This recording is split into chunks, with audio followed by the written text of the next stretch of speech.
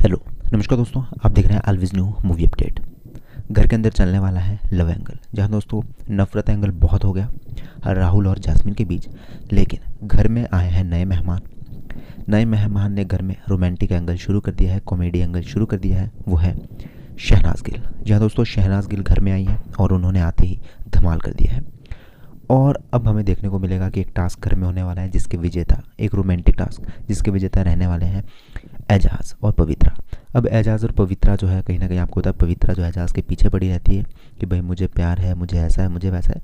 दूसरी तरफ़ एज, एजा, एजाज जो उस पर इतना भाव नहीं देते पवित्रा ही ज़्यादा भाव देती है मुझे प्यार है ऐसा है वैसा है। यहाँ पे शहनाज कहती है कि मुझे लगता है कि एजाज को भी कहीं ना कहीं आपसे कुछ कहना है लेकिन वो कह नहीं पाते। वेल जैसे ही ये बात आती है, यहाँ पे हमें देखने को मिलता है कि इन दोनों को एक रोमांटिक डेट में ले जाया जाता है। जहाँ दोस्तों, पवित्र पुनिया और एजाज आज हमें रोमांस करते हुए दिखाई देंगे रोमांटिक डेट पे। ज़बरदस्त रोमांस करते हुए दिखाई देंगे, जो कि आज शो में गर्मी भरने वाला है और एजाज और पवित्र पुनिया की मस्ती आपको देखने को मिलेगी, इनका रोमांस आपको देखने को मिलेगा।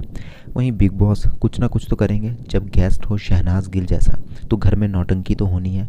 घर में घर में वो कॉमेडी एंटरटेनमेंट नटखटा अंदाज तो होना ही होना था और वही होता हुआ आज के दिन आपको दिखने वाला है।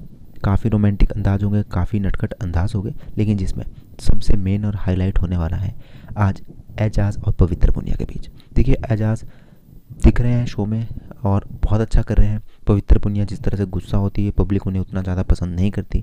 लेकिन दूसरी तरफ़ अगर एजाज की बात करें तो उन्हें पब्लिक भी पसंद करी और जिस तरह से वो आजकल गेम खेल रहे हैं, वो भी फ़र्स्ट क्लास है।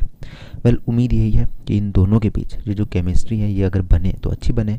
अदरवाइज़ एजाज जो अपनी गेम पे ज़्यादा ध्यान दे। क्योंकि पवित्र पुनिया का कुछ पता नहीं चलता कब वो पलट जाए, कब वो क्या कर दे। बल आप क्या मेरी बातों से सहमत करते हैं और आपको लगता है कि एजाज को ये रोमांटिक रोमांटिक में ज़्यादा ध्यान नहीं देना चाहिए? जब तक चल रहा है, सही है। अभी तक तो हमें यही देखने को मिला कि एजाज इन पंगों में पढ़ना नहीं चाहते, लेकिन कहीं ना कहीं बिग बॉस ज़बरदस्ती अपने शो के टीआरपी के लिए कुछ ना कुछ रोमांटिक डालना चाहते हैं। मतलब आप क्या एग्री करते हैं, नहीं करते हैं, वो आप मुझे बताएँ। सब्सक्राइब करें, शहनाज ने धमाल कर दिया।